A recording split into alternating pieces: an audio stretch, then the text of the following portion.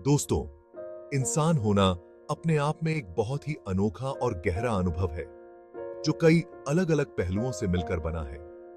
यह अनुभव केवल भौतिक शरीर तक सीमित नहीं है, बल्कि इसमें मानसिक और आत्मिक पहलू भी शामिल हैं।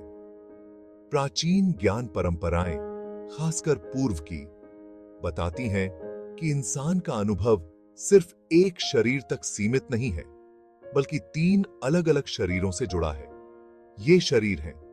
स्थूल शरीर, सूक्ष्म शरीर और कारण शरीर। हर एक शरीर हमारी अस्तित्व की एक अलग परत को दर्शाता है और हर एक का अपना अलग महत्व और उद्देश्य है। स्थूल शरीर, जो सबसे आसानी से समझ में आता है, हमारा भौतिक शरीर है।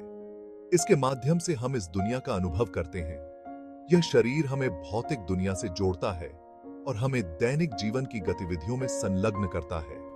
सूक्ष्म शरीर, जो मन, बुद्धि और अहंकार से बना है, हमारे विचारों, भावनाओं और धारणाओं को नियंत्रित करता है। यह शरीर हमें मानसिक और भावनात्मक अनुभवों से जोड़ता है, जिससे हम अपनी आंतरिक दुनिया को समझ सकते हैं। कारण शरीर, जो सबसे सूक्ष्म है और हमारी आत्मा का स्थान है, हमारे भौतिक और मानसिक सीमाओं से परे है। यह शरीर हमें आत्म साक्षात्कार की यात्रा पर ले जाता है और हमें हमारी सच्ची पहचान से जोड़ता है। इन तीन शरीरों को समझना बहुत ज़रूरी है। तभी हम इंसान होने की पूरी क्षमता और आत्म साक्षात्कार की यात्रा को समझ सकते हैं। यह दृष्टिकोण हमें खुद को सिर्फ़ भौतिक रूप में देखने की सीमा से आगे बढ़ने और अपनी पूरी क्षमता को पहचानने में मदद करता है। इन तीन शरीरों के बीच के संबंध को समझकर हम चेतना की प्रकृति, कर्म और पुनर्जन्म और मोक्ष के मार्ग के बारे में गहरी समझ हासिल कर सकते हैं। यह ज्ञान हमें सभी चीज़ों के इंटरकनेक्टेडनेस को दिखाता है और हमें एक सचेत और सार्थक जीवन जीने की राह दिखाता है। यह दृष्टिकोण हमें हमारे भौतिक अस्तित्व को स्वीकार करने और साथ ही हमारी आंतरिक दुनिया की गहराई को पहचानने में मदद करता है। यह हमें मसासन ही। यह हमें एक संतुलित और समग्र दृष्टिकोण प्रदान करता है, जिससे हम अपने जीवन को अधिक गहराई और अर्थ के साथ जी सकते हैं। तीन शरीरों की यह समझ हमें हमारे अस्तित्व के विभिन्न पहलुओं को एकीकृत करने में मदद करती है। यह हमें हमारे भौतिक, मानसिक और आत्मिक अनुभवों को एक साथ जोड़ने की क्षमता प्रदान करती है। इस समग्र दृष्टिकोण के माध्यम से हम अपने जीवन को अधिक पूर्णता और संतोष के साथ जी सकते हैं।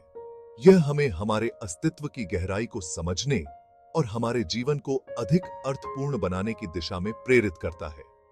यह दृष्टिकोण हमें हमारे भौतिक और आत्मिक अनुभवों के बीच संतुलन बनाने में मदद करता है। यह हमें हमारे जीवन के विभिन्न पहलुओं को एकीकृत करने और एक समग्र दृष्टिकोण अपनाने की प्रेरणा देता है। इस समग्र दृष्टिकोण के माध्यम से हम अपने जीवन को अधिक गहराई और अर्थ के साथ जी सकते हैं। यह हमें हमारे अस्तित्व की गहराई को समझने और हमारे जीवन को अधिक अर्थपूर्ण बनाने की दिशा में प्रेरित करता है। यह दृष्टिकोण हमें हमारे भौतिक और आत्मिक अनुभवों के बीच संतुलन बनाने में मदद करता है। यह हमें हमारे जीवन के विभिन्न पहलुओं को एकीकृत करने और एक समग्र दृष्टिकोण अपनाने की प्रेरणा देता है और हमें एक सचेत और सार्थक जीवन जीने की राह दिखाता है। हमें बाहर एक तय है। स्थूल शरीर, जिसे संस्कृत में स्थूल शरीर कहा जाता है, हमारा भौतिक रूप है। हमारे अस्तित्व का वो पहलू जिसे हम देख और छू सकते हैं। यह हमारे जीवन का आधार है। जो हमें इस भौतिक दुनिया में अनुभव करने और जीने की क्षमता प्रदान करता है।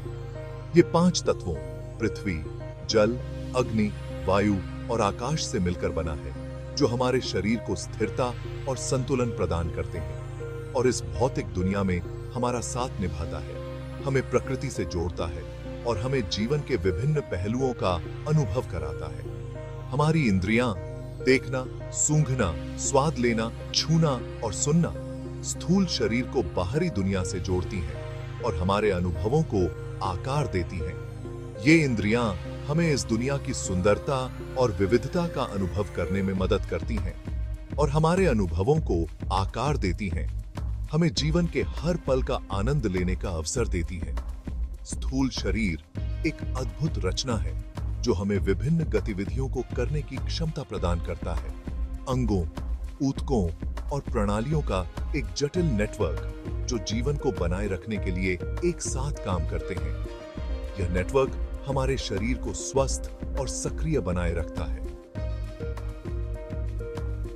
हमारे दिल की धड़कन से लेकर हमारे दिमाग की गतिविधियों तक हर एक क्रिया हमारे जीवन के लिए महत्वपूर्ण है। स्थूल शरीर का हर एक पहलू प्रकृति के चमत्कारों का प्रमाण है, जो हमें जीवन की अद्भुतता का एहसास कराता है। लेकिन इतनी जटिलता और शक्ति के बावजूद, स्थूल शरीर स्थायी नहीं है। यह समय के साथ बदलता है और अंततः समाप्त हो जाता है। यह जन्म, वृद्धि, क्षय और अंततः मृत्यु के अधीन है। यह जीवन का एक स्वाभाविक चक्र है। जन्म और मृत्यु का यह चक्र मानव अनुभव का एक अभिन्न अंग है, जो हमें जीवन की अस्थिरता और परिवर्तनशीलता का एहसास कराता है, जो हमें याद दिलाता है कि भौतिक संसार क्षण भंगुर है। यह हमें सिखाता है कि हमें हर पल का आनंद लेना चाहिए। हालाँकि हम अपने भौतिक रूप के साथ खुद को जोड़ते हैं, यह याद रखना ज़रूरी है कि स्थूल शरीर हमारे वास्तविक स्व के का सिर्फ़ एक अस्थाई घर है। यह याद रखना ज़रूरी है कि स्थूल शरीर हमारे वास्तविक स्व का सिर्फ़ एक अस्थाई घर है।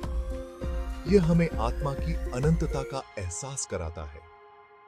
स्थूल शरीर की प्रकृति को समझने से हम इसकी सीमाओं को समझ पाते हैं और साथ ही इसकी क्षमताओं की सराहना भी करते हैं और साथ ही इसकी क्षमताओं की सराहना भी करते हैं। यह हमें अपने शरीर के प्रति जागरूक और संवेदनशील बनाता है। उचित पोषण, व्यायाम और आराम के माध्यम से अपने शारीरिक स्वास्थ्य की देखभाल करके हम अपने संपूर्ण स्वास्थ्य के लिए एक अच्छा वातावरण बनाते हैं। हम अपने संपूर्ण स्वास्थ्य के लिए एक अच्छा वातावरण बनाते हैं। यह हमें शारीरिक और मानसिक रूप से संतुलित और स्वस्थ बनाए रखता है। हालाँकि यह पहचानना भी उतना ही महत्वपूर्ण है कि वास्तविक संतुष्टि और मुक्ति भौतिक शरीर की सीमाओं से परे है। यह हमें आत्मा की अनंतता और शांति का अनुभव कराता है। और ये चूम थे। भौतिक क्षेत्र से परे सूक्ष्म शरीर है, जिसे संस्कृत में सूक्ष्म शरीर कहा जाता है। यह शरीर हमारे अस्तित्व का एक महत्वपूर्ण हिस्सा है, जो भौतिक शरीर से परे जाकर हमारे आंतरिक अनुभवों को समेटे हुए है। यह शरीर जो आँखों से दिखाई नहीं देता, मन, बुद्धि, अहंकार और प्राण से बना है। यह सूक्ष्म शरीर हमारे जीवन के हर पहलू को प्रभावित करता है, चाहे वह मानसिक हो, भावनात्मक हो या आध्यात्मिक। प्राण वो जीवन ऊर्जा है जो हमें जीवित रखती है। यह ऊर्जा हमारे शरीर के हर हिस्से में प्रवाहित होती है, हमें शक्ति और जीवन प्रदान करती है। सूक्ष्म शरीर हमारे विचारों, भावनाओं, इच्छाओं और सपनों का स्थान है, जो हमारे दृष्टिकोण और क्रियाओं को प्रभावित करते हैं। यह हमारे आंतरिक संसार का केंद्र है, जहाँ हमारी सभी मानसिक और भावनात्मक गतिविधियाँ होती हैं। मन सूक्ष्म शरीर का एक शक्तिशाली अंग है। लगातार गति में रहता है। विचारों की एक धारा उत्पन्न करता है और हमारी इंद्रियों से जानकारी संसाधित करता है। यह हमारे अनुभवों को आकार देने में महत्वपूर्ण भूमिका निभाता है। बुद्धि। हमारी तर्क और विवेक करने की क्षमता है, जो हमें अपने आसपास की दुनिया का विश्लेषण, व्याख्या और समझने में मदद करती है। यह हमें सही और गलत के बीच अंतर करने में सहायता करती है। अहंकार हमारे मैं की भावना है, जो हमारी पहचान और दूसरों के साथ बातचीत को आकार देने में महत्वपूर्ण भूमिका निभाता है। यह हमें हमारे व्यक्तिगत और सामाजिक जीवन में मार्गदर्शन करता है। प्राण सूक्ष्म शरीर में बहती है, हमारे भौतिक शरीर को ऊर्जित करती है और हमारी मानसिक और भावनात्मक स्थिति को प्रभावित करती है। यह ऊर्जा हमारे जीवन की गुणवत्ता को निर्धारित करती है। यह ऊर्जा नाड़ियों नामक मार्गों से होकर बहती है, जो सूक्ष्म शरीर के विभिन्न हिस्सों को जोड़ती है और हमारे संपूर्ण स्वास्थ्य को प्रभावित करती है। नाड़ियाँ हमारे ऊर्जा प्रवाह को संतुलित रखने में मदद करती हैं। व्यक्तिगत विकास और आध्यात्मिक उन्नति के लिए सूक्ष्म शरीर की गतिशीलता को समझना बहुत महत्वपूर्ण है। यह समझ हमें अपने जीवन के हर पहलू में संतुलन और सामंजस्य लाने में मदद करती है। अपने विचारों, भावनाओं और इच्छाओं के प्रति जागरूक होकर हम अपने जीवन पर बेहतर नियंत्रण पा सकते हैं। यह जग की बागिया जागरूकता हमें अपने जीवन के लक्ष्यों को प्राप्त करने में सहायता करती है। ध्यान माइंडफुलनेस और आत्मनिरीक्षण जैसे अभ्यास हमें मन को शांत करने, भावनात्मक बुद्धिमत्ता विकसित करने और सूक्ष्म शरीर को शुद्ध करने में मदद करते हैं। ये अभ्यास हमें आंतरिक शांति और संतुलन प्रदान करते हैं। जैसे जैसे हम अपने सूक्ष्म शरीर को परिष्कृत करते हैं, हम अधिक स्पष्टता, शांति और अपने वास्तविक स्वरूप के साथ गहरा संबंध अनुभव करते हैं। यह प्रक्रिया हमें आत्मज्ञान और आंतरिक शांति की ओर ले जाती है। हमारे अस्तित्व के मूल में कारण शरीर स्थित है, जिसे संस्कृत में कारण शरीर कहा जाता है। हमारे अस्तित्व का यह सूक्ष्म और गहन आयाम आत्मा का स्थान है, जो भौतिक और मानसिक क्षेत्रों की सीमाओं से परे है। कारण शरीर हमारे पिछले कर्मों का भंडार है। इस जीवन और पिछले जन्मों से हमारे विचारों, कार्यों और अनुभवों के संचित संस्कार। कारण शरीर को अक्सर एक बीज के रूप में वर्णित किया जाता है, जिसमें हमारे पूरे अस्तित्व का खाका होता है। जिस प्रकार एक बीज में एक विशाल वृक्ष की संभावना होती है, उसी प्रकार कारण शरीर में हमारे आध्यात्मिक जागरण और मुक्ति की संभावना होती है। यह कारण शरीर में है, जहाँ हम अपनी वास्तविक प्रकृति, हमारे भीतर रहने वाली दिव्य चिंगारी से जुड़ते हैं। स्थूल और सूक्ष्म शरीरों के विपरीत जो परिवर्तन और क्षय के अधीन है, कारण शरीर शाश्वत और अपरिवर्तनशील है। यह साक्षी चेतना है, मौन दृष्टा है, जो मन के उतार चढ़ाव और भौतिक शरीर के परिवर्तनों का अनुभव करता है। कारण, शरीर से जुड़ना आध्यात्मिक साधना का अंतिम लक्ष्य है। गहन ध्यान, आत्मचिंतन और प्रेम। करुणा और ज्ञान जैसे गुणों के विकास के माध्यम से हम भ्रम के पर्दे को भेद सकते हैं और उस गहन शांति और आनंद तक पहुँच सकते हैं जो हमारे भीतर है।